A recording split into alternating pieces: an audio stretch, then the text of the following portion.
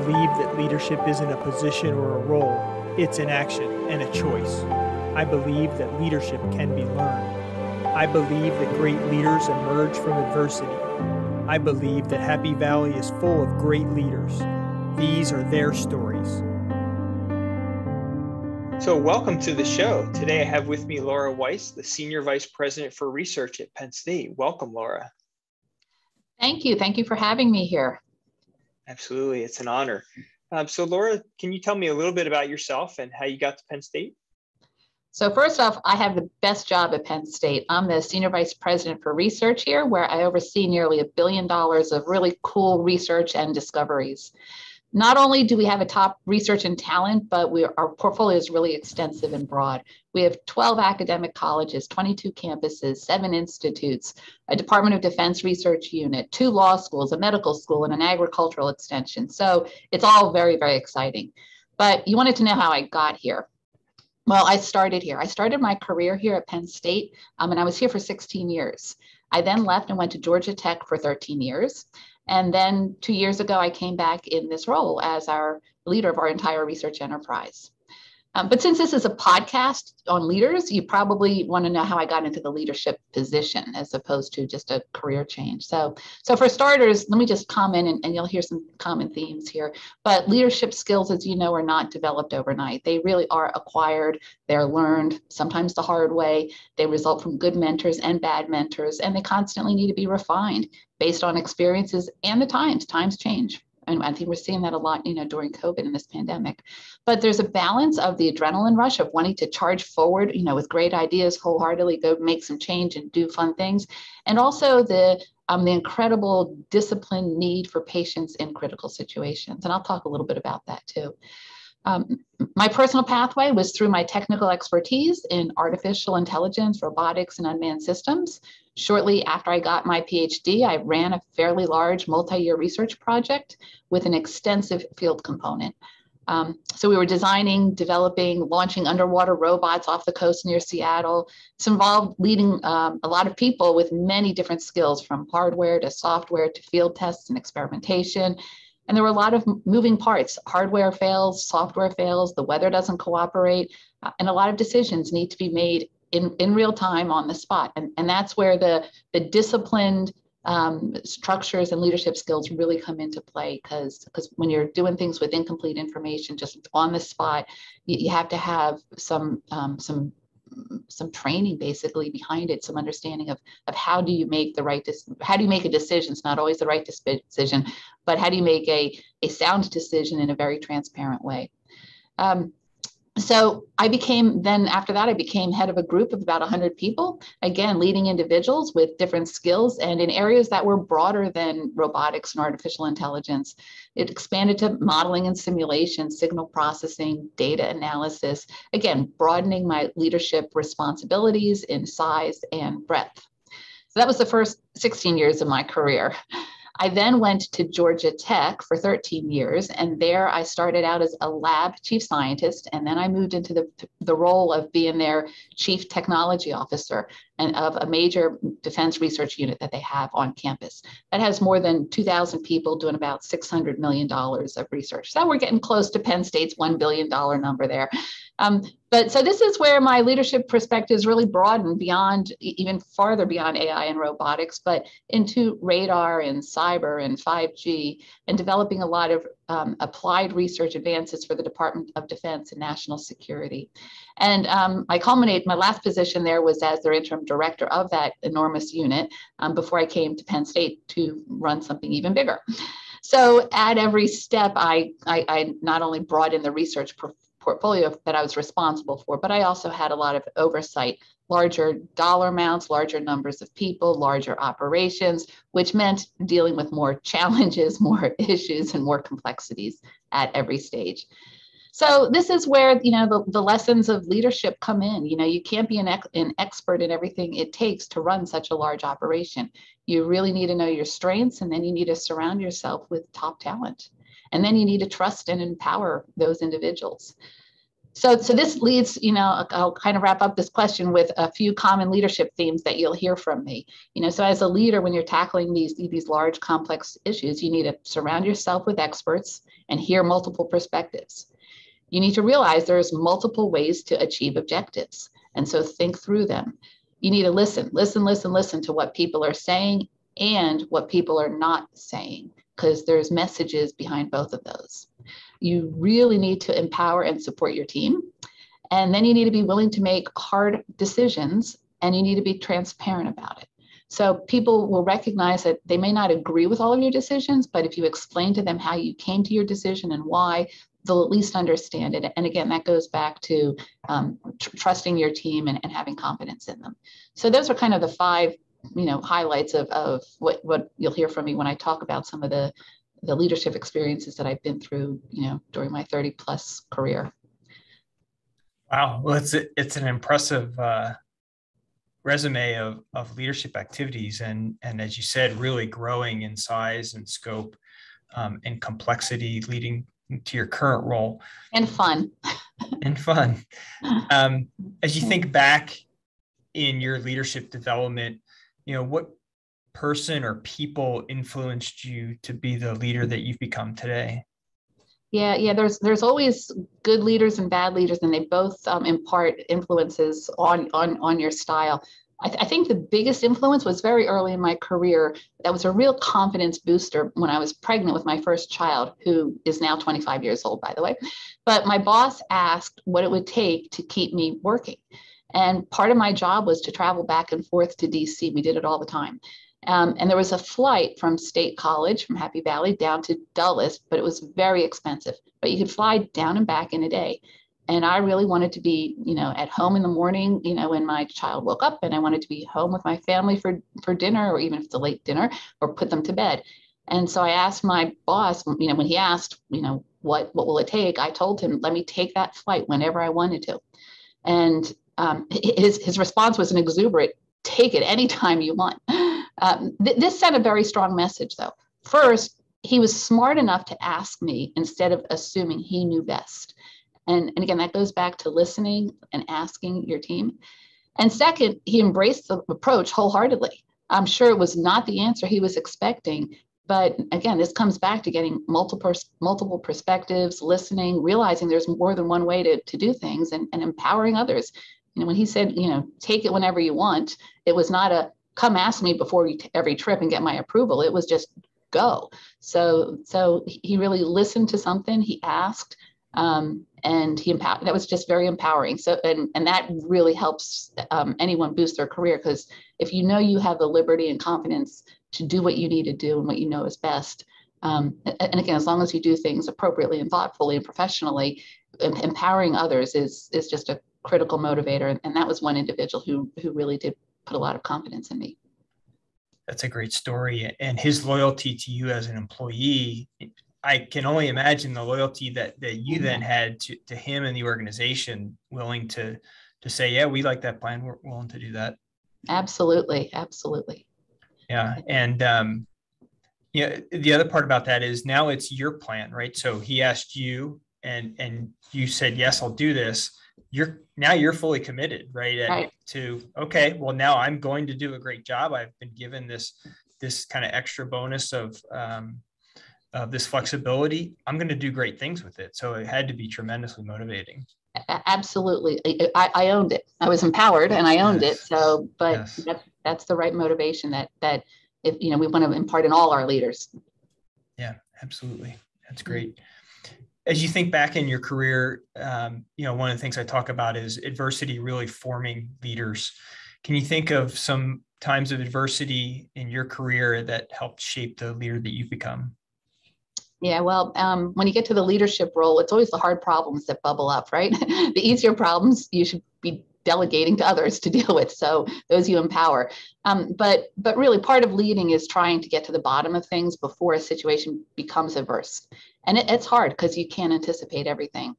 So, so this is where patience and a metered discipline approach is needed to thinking through things. Um, it's really important to get facts, to get inputs from the experts around you. Um, it's, it's where you really need the rational, objective thought. It's, it's really crucial at that point. Um, it's kind of where you need to think before you act. You need to think not only, so this is another one of my philosophies, not only about the step that you're going to take, but if you take that step, what will the reaction be?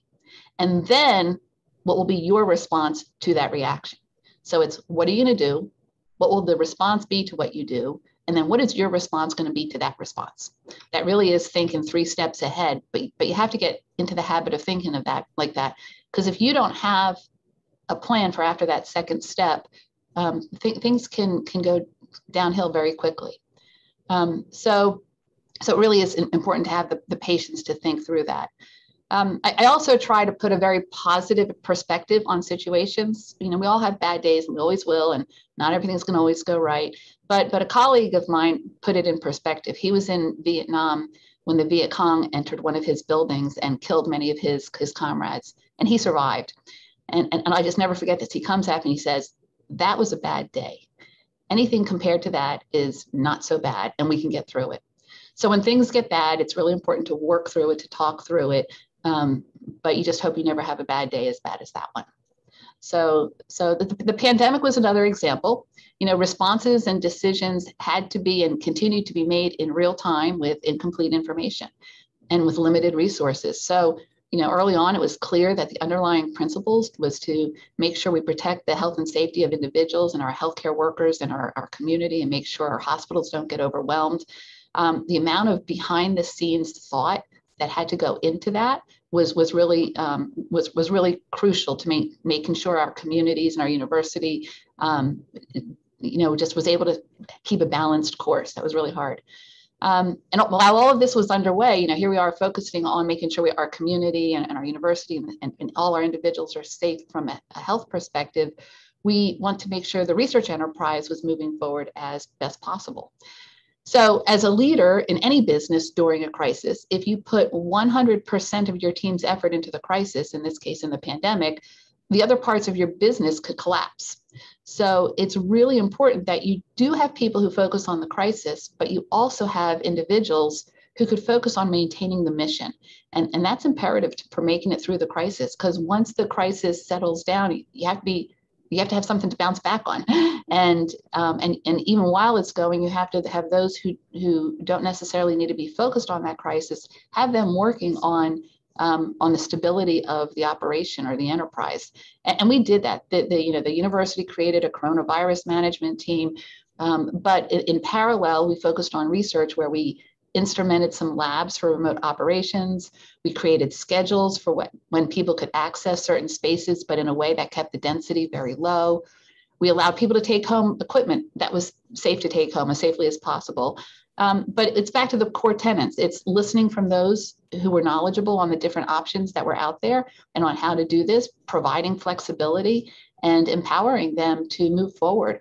We allowed every college on campus and, and, at, the, and at the campuses to decide how best to make what their standard operating procedures for research in a de-densified pandemic environment should be. And, and we empowered them to do that because because every college is different. Every campus is different. They have different needs. Your your needs for um, in, in the arts and architecture you know in theater are very different than a lab in biology.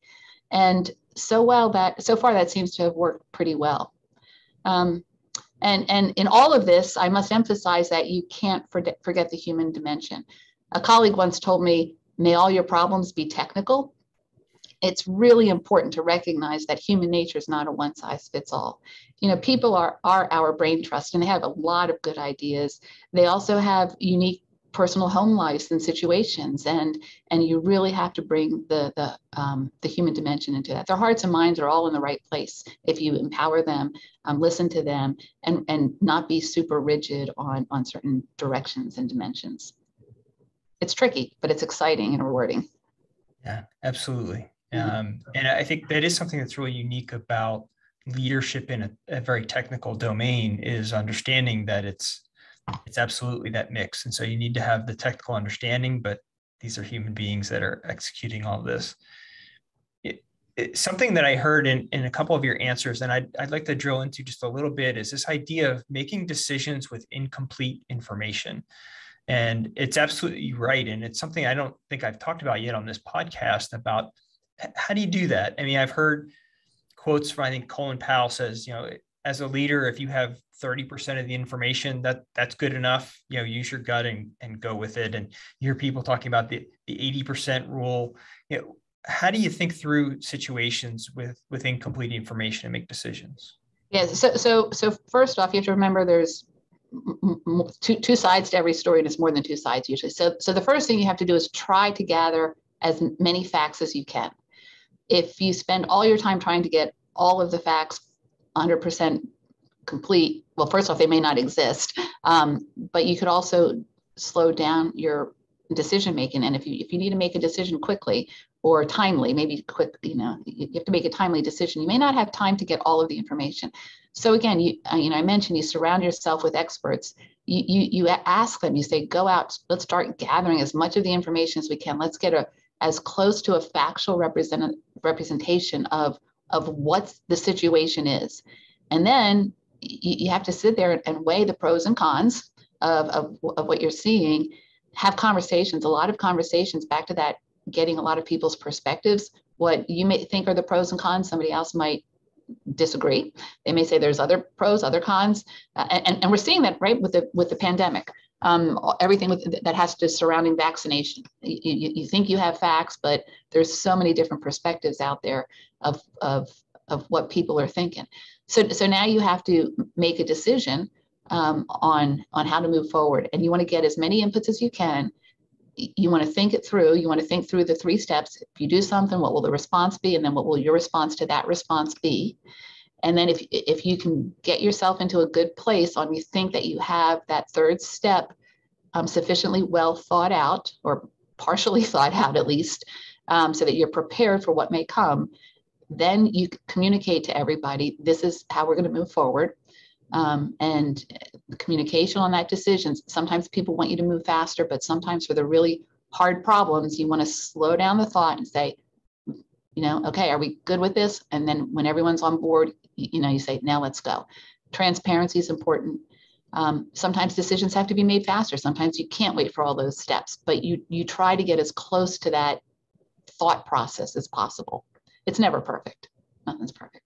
Yeah, absolutely and that's helpful. I think um, how you demonstrated that the process that you use that you've, you've described it, it, works in different situations and it helps you get to the best answer that you have in the time available right? So it usually works and you get to a pretty good answer but but you really you, you try for the ideal. Yeah absolutely.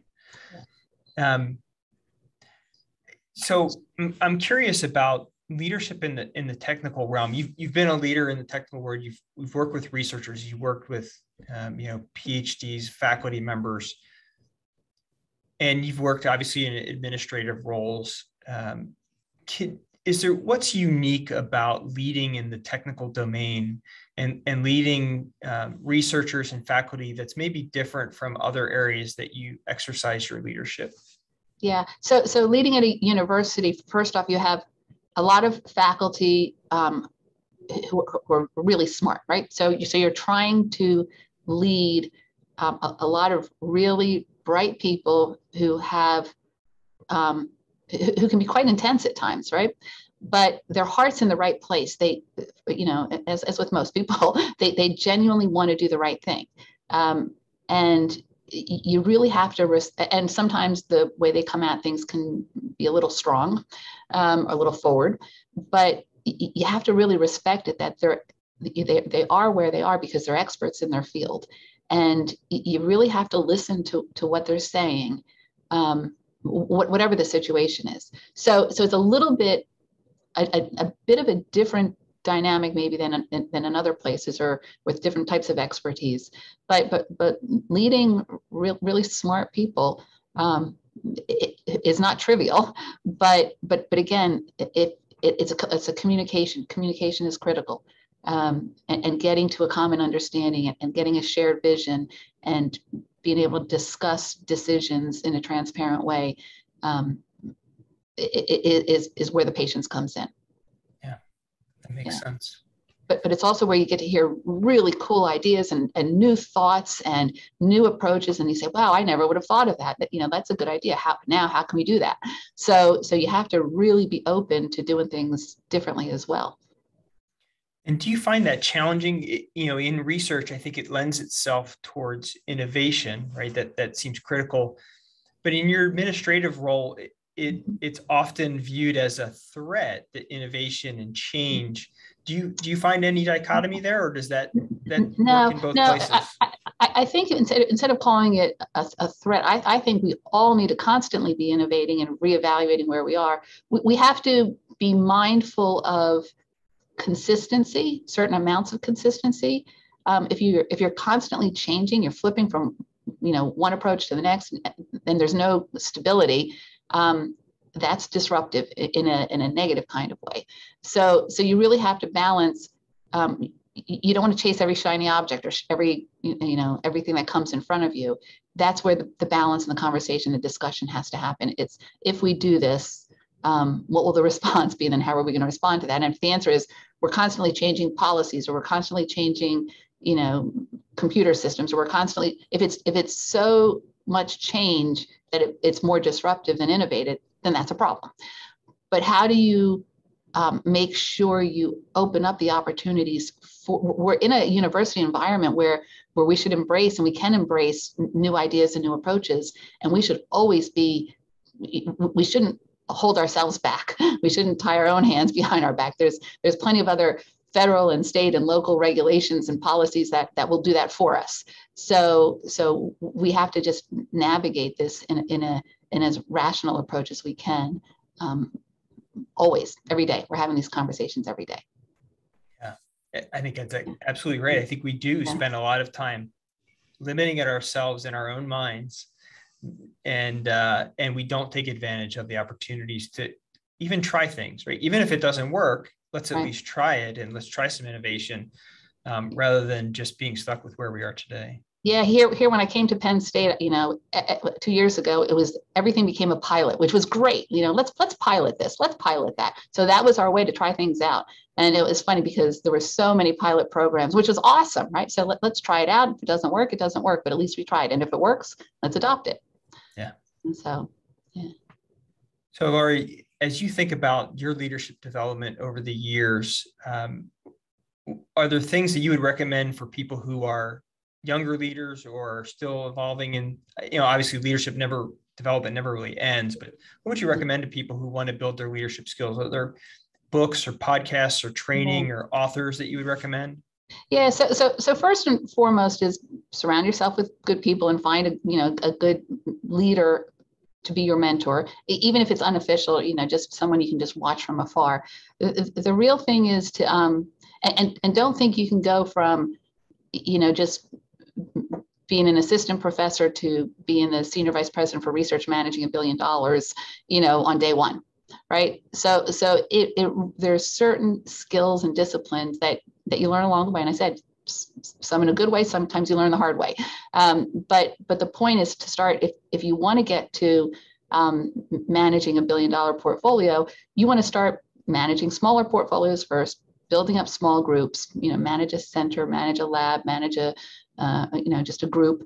Um, so you understand the nuances, what it takes to lead, and, and there's a difference, by the way, between leadership and management. Um, and and then you want to start growing the group that you're leading and then and then maybe then you take your next step um, and, and, go to something bigger and then you take your next step and go to something bigger. Because every step of the way there's there's a nuance there's a complexity there's a wow i've never experienced that before. So that by the time you're running a, a, a major research enterprise um, you've you've you've developed certain skills certain um, techniques that will help you that'll help make things smoother a lot of patience. You develop a lot of patience too.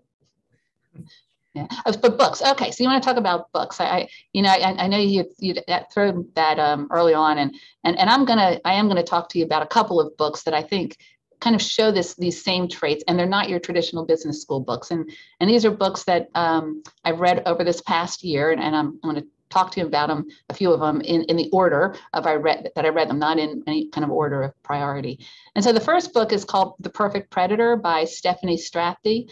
So this is a story of an epidemiologist at the University of California, San Diego, and she and her husband went on a trip to Egypt. He got an incredibly nasty bacterial infection um, that was not responsive to any antibiotics.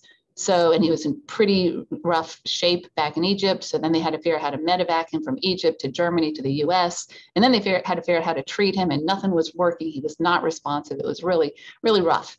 And so she had to navigate how, how do you, what do you do? And there was a, being an epidemiologist, she knew a little bit about public health, a lot of bit about public health. Um, and she was able to um, do lots of reading and learning from other experts around her um, on something called phage therapy. You know, these are um, viruses that that attack bacteria, and so um, so she was looking at these phage therapies, and and they were kind of put on the back burner for many many years. But the Navy had a whole um, stockpile uh, of, um, of of phage. You know, they just had a whole library of of phage banks, basically. And so she worked with experts there and at other universities. Again, she had to reach out to experts, listen to people, hear what they were saying. Then she worked with the FDA. How do you get approval to use this treatment? I mean, at every step, again, she did, she didn't take no for an answer, but she had to coordinate in a very calm, professional way of interacting with people. She orchestrated the whole thing. So, listening to all the different perspectives. And then once she figured things out, she empowered people to go forward and, and she was able to make bold decisions. Um, and in the end, um, her husband survived, which was pretty incredible, being how what he had was really, I mean, he, he was he was not in good shape for a while.